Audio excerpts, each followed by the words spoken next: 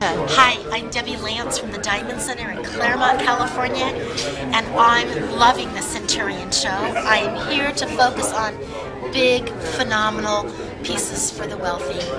I am looking at about 20 of my clients. I'm looking for those showstoppers that are drop dead gorgeous and that'll make them say, wow. Hi, my name is Leslie Panowitz. I am from Olympia, Washington.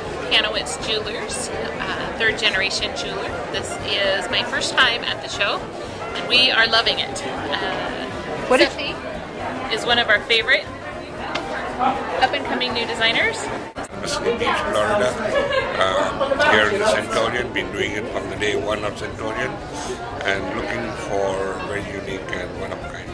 Is Tracy Alpert. I'm with Rumley's Jewelers in Green Bay, Wisconsin. I'm here at the Centurion Show 2012 and I'm shopping for lots and lots of big diamond pieces. Big diamond pieces. For bridal or fashion or both? Both bridal and fashion. What did you see that you liked? Well, we saw a lot of fancy colored diamond pieces this year. That was amazing. Kathy Fleck, from Midland, Texas. What's your store's name? Occasions Fine Jewelry. Okay, and what did you see here at the Centurion Show that you loved? I saw several things that I really liked. I think the new one of the new products that we just started um, spending some time with was Imagine Bridal, with um, the technology that they have for being able to reorder fast sellers really quickly.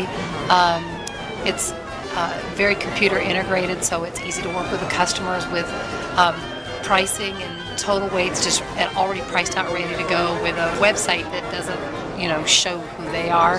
So it's great. I think consumer across the counter.